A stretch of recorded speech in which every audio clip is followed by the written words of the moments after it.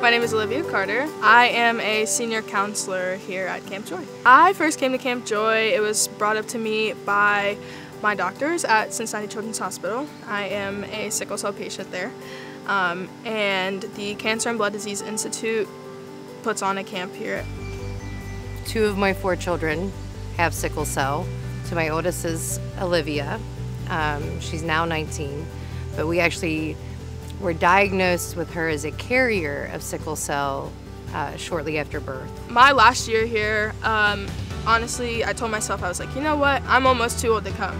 So I want to be able to come back. And so that's kind of what pushed me to become a counselor is I wanted to be able to come back and kind of give some similar experiences to other campers. And then another part of it was showing other kids with sickle cell that, hey, you can still do it too. Like no matter how bad, how mild your sickle cell may be, like there's people that are here to support you but also like you can do anything you want to. Sickle cell disease is a blood disorder where your blood doesn't carry as much oxygen because of the shape and rigidity of the cells. Just it keeps them oxygen depleted, basically. Um, it's their blood doesn't carry the oxygen that most people's do, and the way their cells are shaped is they get stuck together and they stick inside of blood vessels and organs a lot easier and so it causes causes pain crises in a couple of different ways when their cells get stuck where they're not supposed to.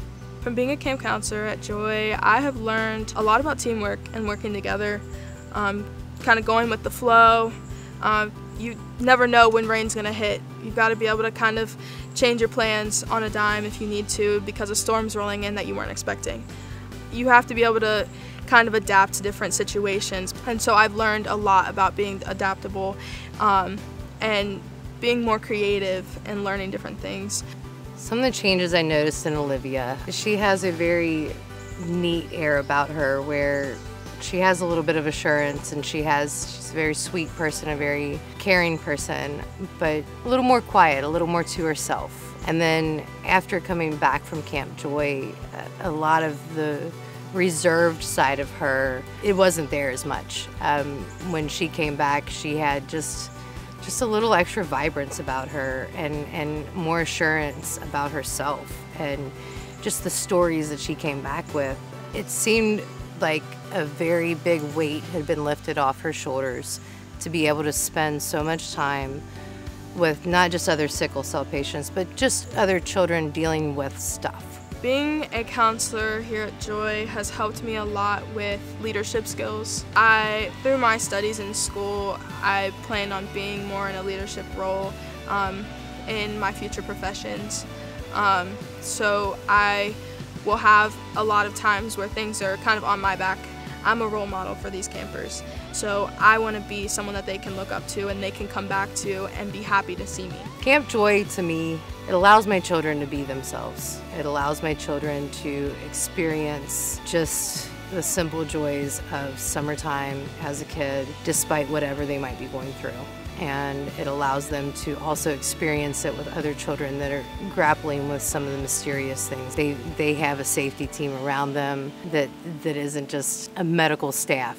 They are people enjoying the week with them and they're safe, they're happy, and they're joyous. The community is what makes Camp Joy special. That for a lot of people, this is a home away from home. This is the place where one week out of the summer they get to come and they get to have fun but also learn about different things. They get to meet other people that are in similar situations. It evens the playing field for them. My experience, I had a lot of fun at camp and they made me feel like I was at home or with family because on the first day it was my birthday, my very first year, and I was already nervous. But they sang me happy birthday and they made me feel at home. My favorite thing about Camp Joy is that you can play in the pool and on the slip and slide. My favorite thing about spending time with my brothers and sisters is, is we can be loud and obnoxious together. Thank you for supporting Camp Joy.